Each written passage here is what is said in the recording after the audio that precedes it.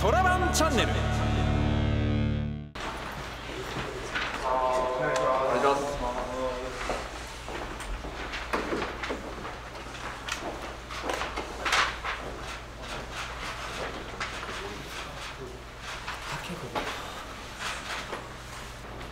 交渉後になりますけども、サインはされましたか、はい、しました。え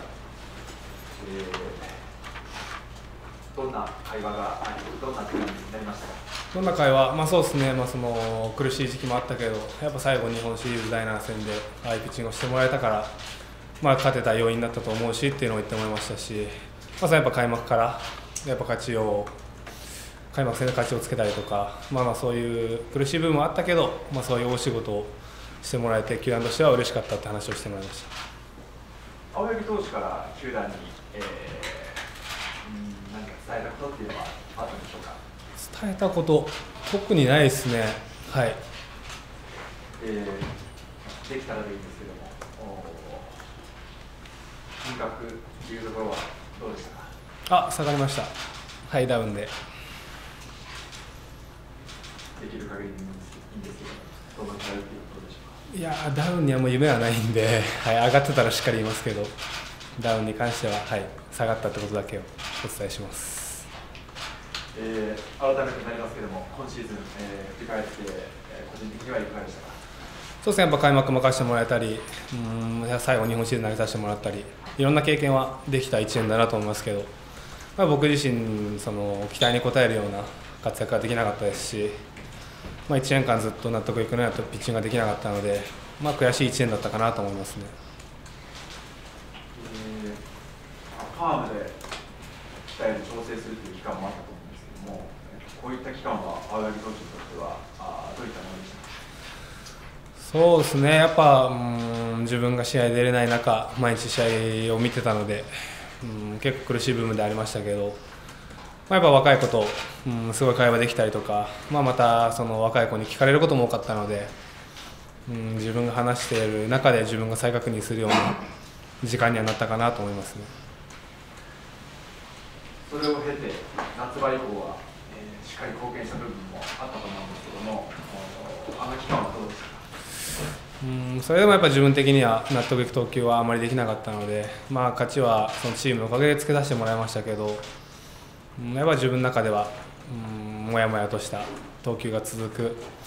感じがありましたね。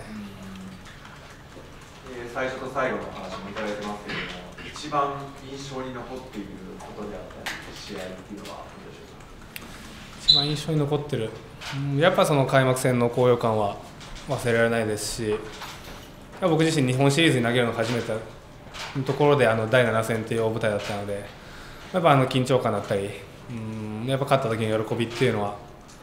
うん今年経験できて忘れられない試合だなと思いますね。えー、いろんなことが本当にあったこのシーズンだと思うんですけども、それを経て、この多く取り組みたいことっていうのは、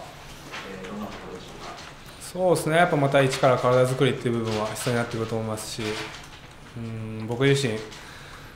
まだまだいける若いと思ってましたけど、まあ、体的にその去年に比べたら動かない部分があったりとか、まあ、そういうところも確認できたので、まずはそこをしっかり動ける体っていうのを作っていかないといけないなと思ってます。そして来シーズンというところですけども、来季の思いを教えてください。そうですね、やっぱ今年1年不甲斐ない投球が続いたので、まあ、来年これが続いてしまったらこのまま落ちる一方だと思うので、まあ、やっぱりここでもう一踏ん張り、また上がっていけるように、うんそうですね、まあ、このままだらだらいかないように、来年しっかりと結果を出して、いい年で、うん、連覇に向けてできたらいいかなと思います。これまでにも増して、えー、ファンの力も感じた1年だったかもしれないですけども、はい最後にファンに向けて言葉をいただけますか？そうですね、本当に1年間、うん、応援ありがとうございました。僕自身は不甲斐ない、うん、投球が続きましたけど、それでもやっぱり応援の声っていうのはずっと届いてたので、やっぱ最後、日本シリーズもそうですし、えーパレードも僕が初めて経験したときにすごい声援をいただいてたので、やっぱり阪神ファンがうんすごいなと思いました。また、えー来年も連覇に向けて僕自身頑張りますし、チームとしても頑張るので、また温かい応援よろしくお願いします。